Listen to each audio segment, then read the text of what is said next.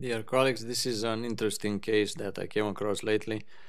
Is a closed angle glaucoma patient with an intumescent cataract.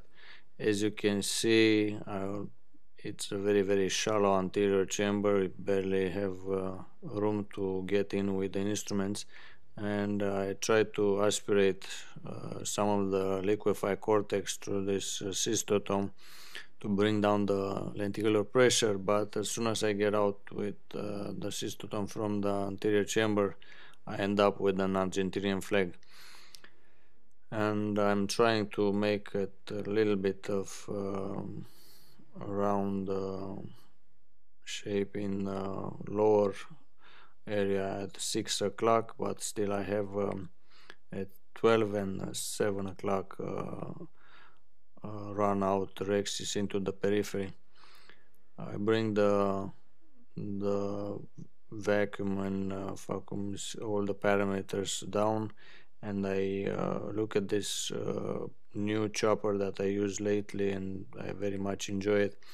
it is a Mishev chopper it's like a half T-shape uh, type chopper with uh, tip that it's um, like a spatula. It's round and uh, you can use it like a shovel. And uh, it's very very versatile. This uh, it's an amazing chopper that I uh, very much enjoy.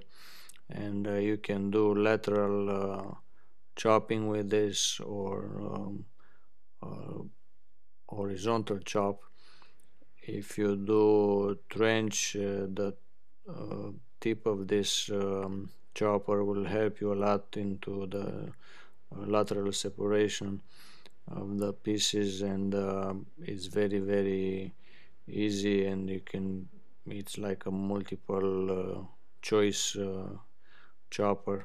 You can use it to bring down bring up the pieces from the from the back very easy with that uh, shovel type of uh, tip that uh, this chopper have it's it's a great chopper and I'm very thankful to Dr. Mishev for bringing this to the market and at the end of the um, phacoemulsification here I use it to kind of hold the anterior capsule back a little bit so I can uh, aspirate uh, the last pieces of the epinucleus uh, underneath that capsule. I'm cleaning up the, the bag real well and then injecting the IOL.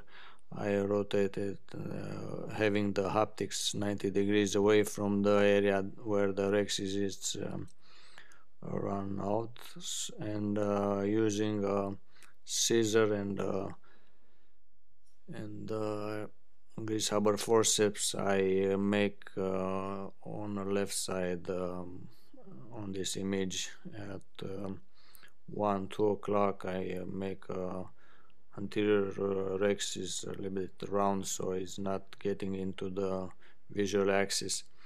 At the end I bring uh, down the pupil with some Miochol and clean up the anterior chamber from the last remnants of uh, viscoelastic by uh, cleaning up the endothelium. Thanks a lot for your attention. I hope this will help you in your practice also.